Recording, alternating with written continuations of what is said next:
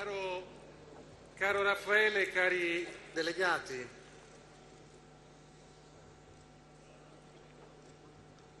è con una grande emozione che prendo la parola qui oggi e con una grande emozione che prendo la parola dopo aver ascoltato la relazione del segretario generale. Raffaele ha detto delle parole molto importanti.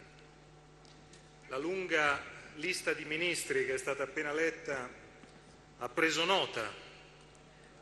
Poi io domani li interrogo tutti per vedere se hanno tutti preso bene gli spunti.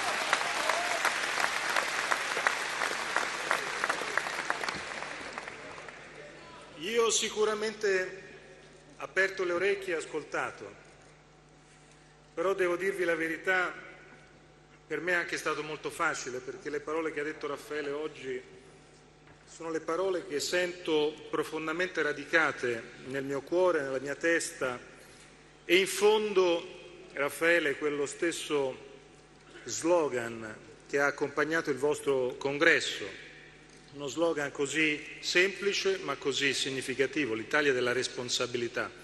È lo stesso slogan e sono le stesse parole che accompagnano da 41 giorni la mia vita, il mio lavoro e il lavoro di tutti quelli che in questo momento stanno lavorando con me. Il mio vuole essere quindi un saluto di buon lavoro per questi tre giorni, ma voglio anche entrare nel merito di alcune delle cose che hai detto, perché credo che sia importante che questo congresso, non soltanto nella tua relazione, ma anche nella discussione che farete in questi giorni, sia un congresso che dà un contributo alto e importante alla discussione che in Italia è in corso su tutti questi temi. Io sono molto contento di questa coincidenza innanzitutto.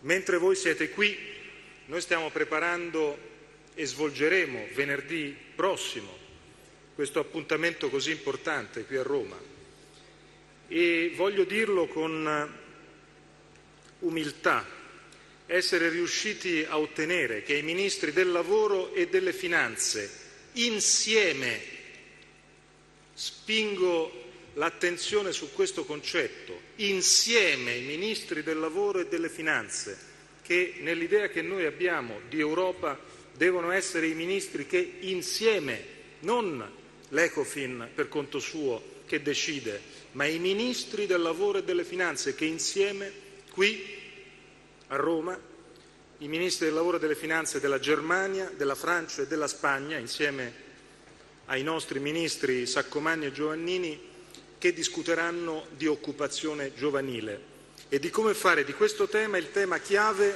del prossimo Consiglio europeo.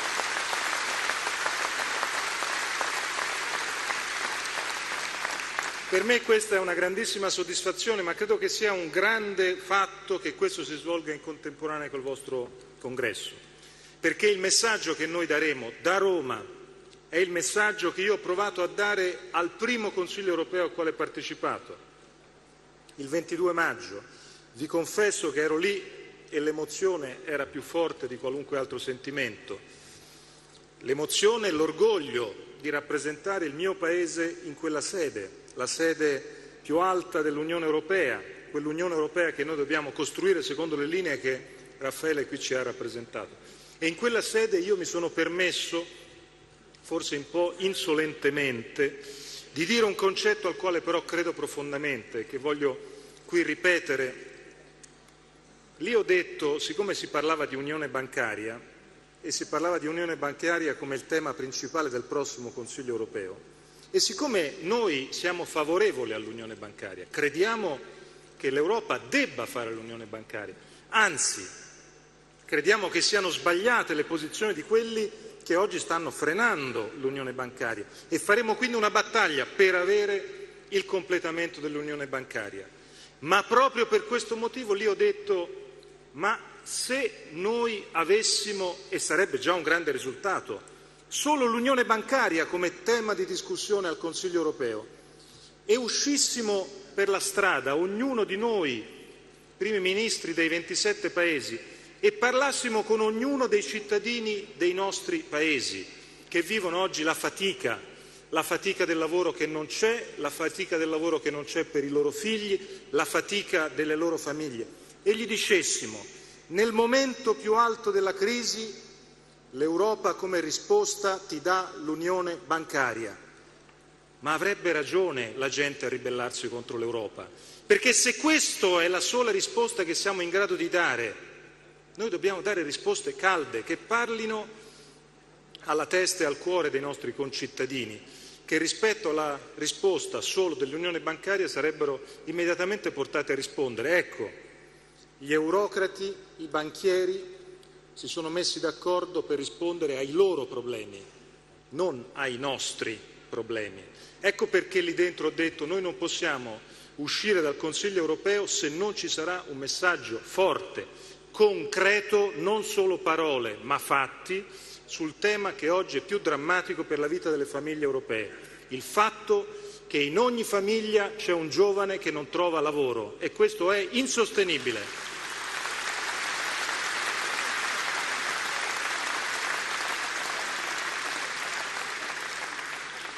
Venerdì parleremo con i ministri del lavoro e delle finanze di questi altri tre fondamentali paesi europei. Cercheremo insieme a loro di mettere a punto un'agenda che sia un'agenda che ci consenta di dire che dal prossimo semestre e dal prossimo 2014 non saranno solo parole quelle a favore della della lotta contro la disoccupazione giovanile, ma saranno fatti concreti. I temi legati alla detassazione del lavoro per i giovani, i temi legati all'anticipo dello Youth Guarantee, i temi legati al fatto che i tirocini, gli apprendistati, devono essere vissuti con un maggiore investimento in modo diverso da come li abbiamo vissuti. Il fatto che attorno a tutti questi temi ci deve essere un grande impegno collettivo. Insomma, ritengo che questo messaggio forte che uscirà da Roma venerdì debba essere un messaggio che l'intero Paese amplifica. Non ho dubbi che noi ce la faremo soltanto se ci sarà un messaggio ampio e collettivo. E qui il ruolo della politica e del governo è un ruolo l'hai detto tu prima parlando di altri termini, è veramente un ruolo di servizio al Paese. Quando io ho detto un governo di servizio al Paese, intendo proprio questo, che il governo da solo non ce la farà mai, la politica da sola non ce la farà mai. O siamo tutti insieme e siamo tutti insieme a cercare di farcela per un obiettivo, per cercare di raggiungerlo quell'obiettivo, oppure non ci riusciremo mai. A me viene sempre in mente in questi casi quella scena che molti papà della mia età eh, si ricordano perché l'hanno vista 100, 200, 1000 volte insieme ai loro figli, la scena di quel film in cartoni animati eh, del pesciolino Nemo, in cui il pesciolino Nemo che alla fine di una lunga rincorsa ha recuperato il papà, l'ha ritrovato e il pesciolino Nemo che si trova che dopo aver recuperato il papà, il papà si infila insieme a un branco di pesci molto grandi con le reti di un peschereccio che li ha presi e li sta tirando su.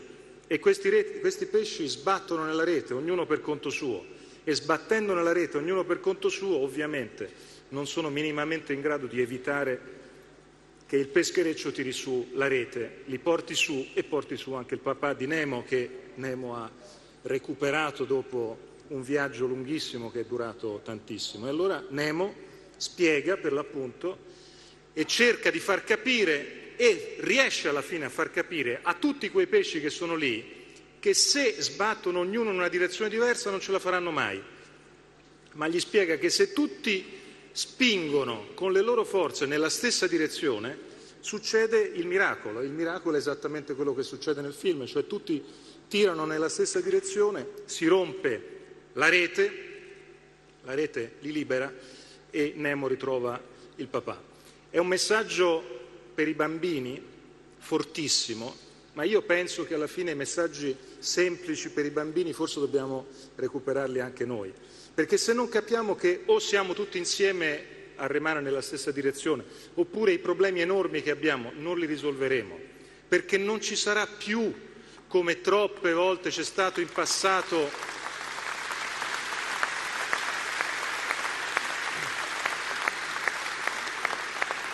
non ci sarà più un debito pubblico al quale possiamo attingere per dare un pezzettino di risposta a ognuno, perché quel debito pubblico al quale attingere per dare un pezzettino di risposta a ognuno oggi si è rivelato il più drammatico fardello sulle spalle di tutti noi. E oggi siamo qui a cercare di rimanere nella stessa direzione per far sì che quelle scelte e quella direzione di marcia condivido sulle cose, su molte delle cose che hai indicato come gli obiettivi prioritari dobbiamo raggiungere. Hai detto una parola forte, la parola partecipazione. È una parola che fa parte del mio DNA e credo fortemente che l'appello che tu hai fatto sull'articolo 46 della Costituzione sia un appello forte.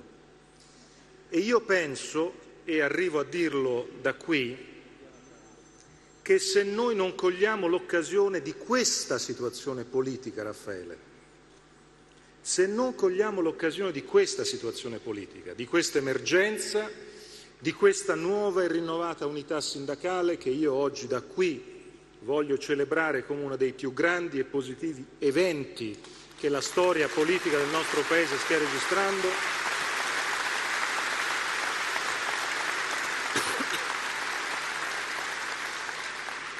Non ci saranno altre occasioni come questa.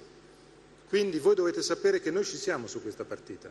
Ci siamo rispettosi, perché ci hanno insegnato fin da bambini che l'autonomia è uno dei valori principali, attorno ai quali si costruisce quel valore di partecipazione che nella nostra Costituzione è scritto così bene. L'autonomia, il protagonismo delle parti sociali, dei corpi intermedi, quei corpi intermedi che non a caso non a caso, nella follia distruttiva di qualcuno, sono stati criticati e messi insieme tutti nello stesso calderone, tutti da battere, tutti da buttare giù.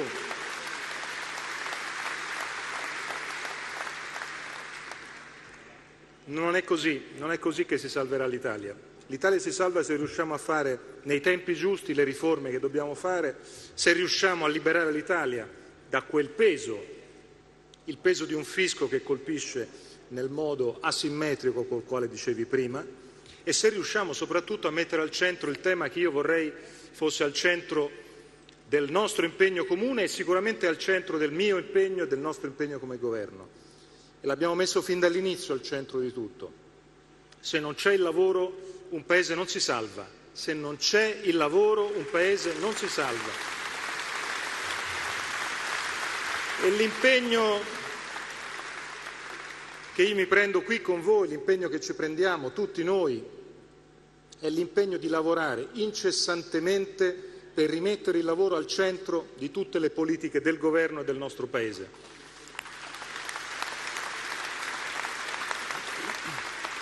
È necessario farlo, è necessario farlo nelle modalità giuste, cercando di spingere il lavoro di qualità, ovviamente, cercando di spingere il lavoro a tempo indeterminato, cercando di lavorare perché quel cuneo fiscale che giustamente tu hai indicato come la vera zavorra del nostro Paese, perché è una zavorra a assumere ed è una zavorra a lavorare. E noi dobbiamo lavorare sapendo che ci sono delle priorità, che non si può fare tutto e che ci sono delle priorità. La prima priorità è sicuramente quella. La prima priorità è il lavoro, far ripartire il Paese, essere in grado di nuovo di creare occupazione. E perché sono partito dal lavoro per i giovani? Perché sono partito dal lavoro per i giovani? Io sento, e guardate lo sento sulle mie spalle e, e mi pesa la responsabilità di tanti che incontro e che hanno 50 anni, che hanno 55 anni, che mi dicono ma parli sempre di lavoro per i giovani, ma noi, e è vero, è vero, è vero, però fatemi dire una cosa, perché oggi il Paese è fermo? Perché oggi il Paese è fermo? Sono tante le ragioni, ma secondo me, e qui non è un'analisi di nessun centro studi, è semplicemente il mio naso nel rapporto con eh, i miei amici, con le famiglie delle persone che hanno la mia età, le persone che hanno figli a scuola. Quelli della mia età, in questo momento, che hanno figli, fanno oggi una scelta, che è basata sull'idea che i propri figli non riusciranno ad avere un lavoro decente come ognuno di noi più o meno ha trovato il modo di avere. E se i tuoi figli non avranno un lavoro decente, tu cosa fai se tu hai un lavoro decente oggi? Tu concentri tutte le tue forze, tutte le tue energie, tutte le tue risorse per costruire una infrastruttura attorno a tuo figlio, che magari oggi è piccolo, in modo tale che tuo figlio, anche facendo un mezzo lavoro in futuro, possa mantenere lo stesso livello di benessere che tu gli hai garantito da bambino. Ma così facendo, qual è l'effetto? Che si immobilizzano risorse.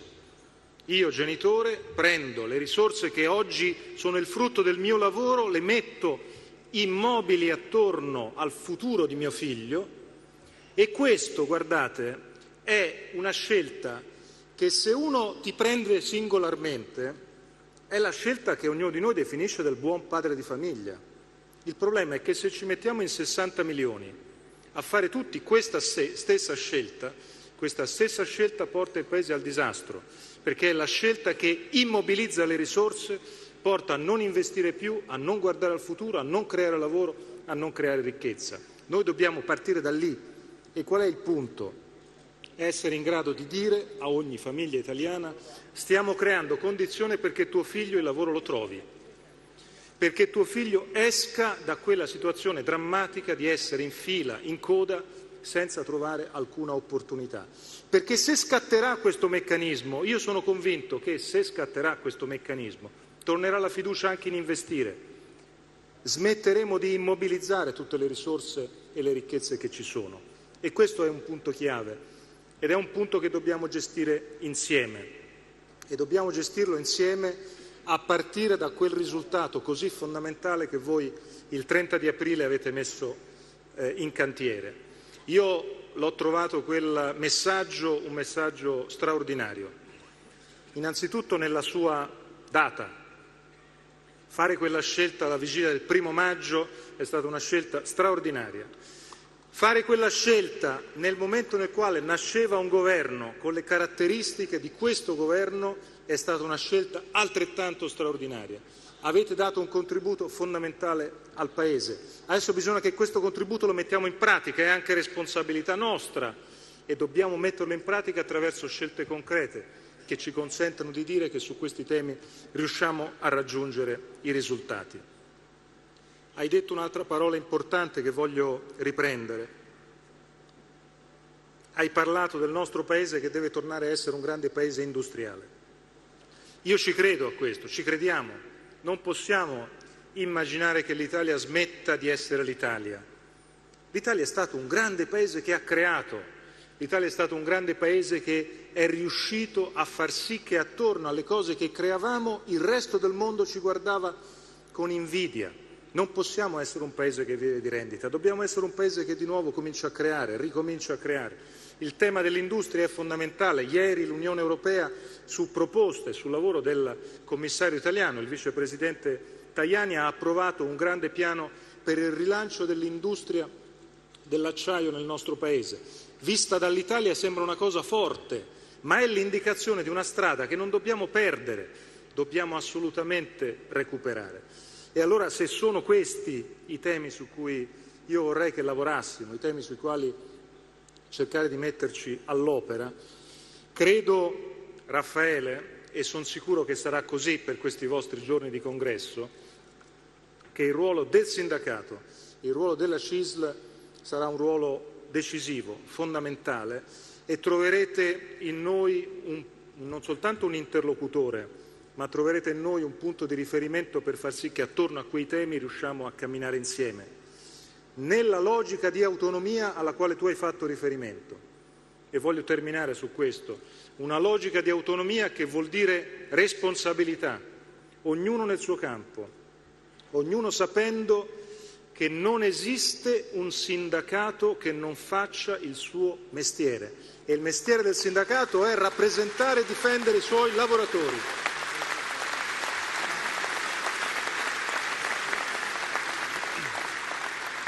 E io mi aspetto che il sindacato sarà con noi inflessibile, Non mi aspetto un sindacato che ce la farà passare liscia su ogni cosa, su ogni difficoltà. Mi aspetto un sindacato che sia inflessibile, che sia in grado di ricordare ogni minuto la centralità del lavoro, la centralità della questione del lavoro nel nostro Paese.